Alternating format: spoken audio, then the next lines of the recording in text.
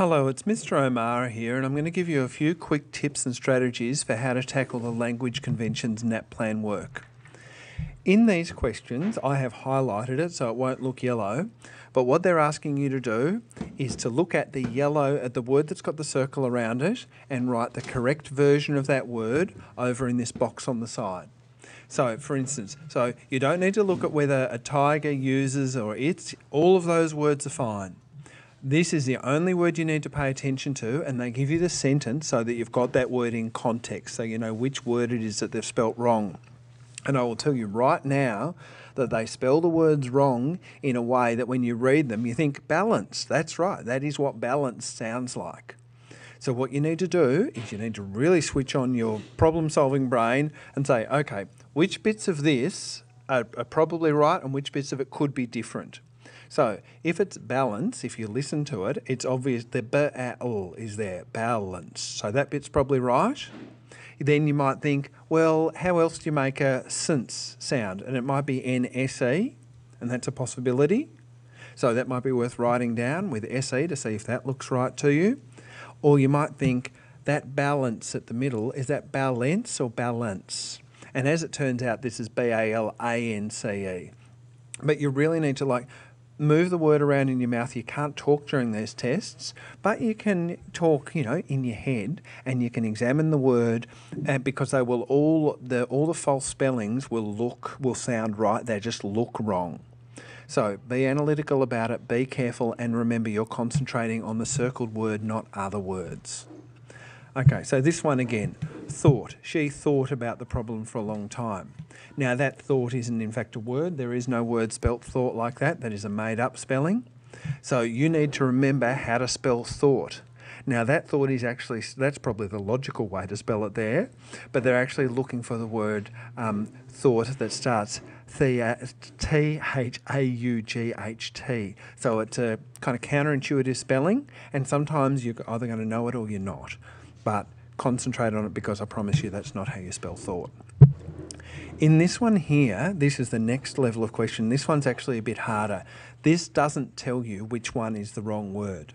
So you need to look at it and you basically need to knock out them word by word. So you can say the. I'm certain that is spelt right.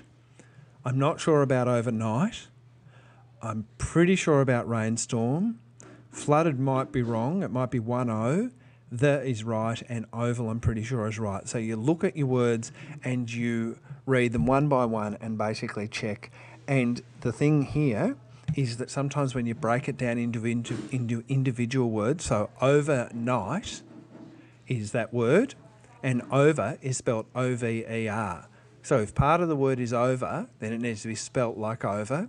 So sometimes pulling a word apart is a good way to work out how it should be spelt.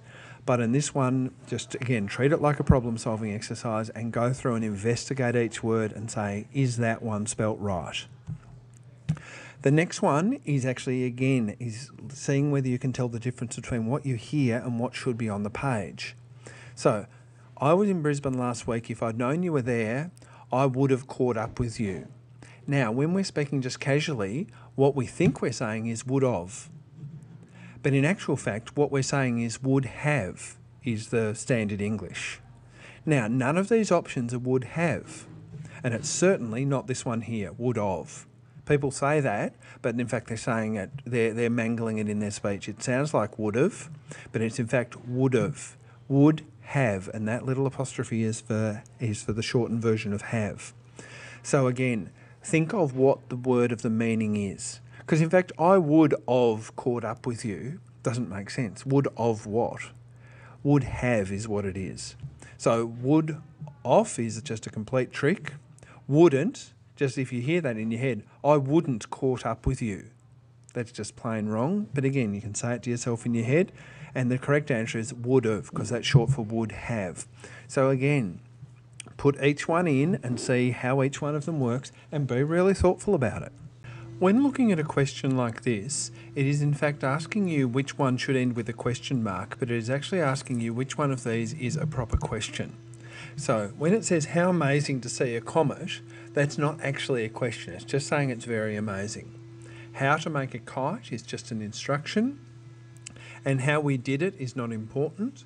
Uh, that's also not a question. But how will you make it?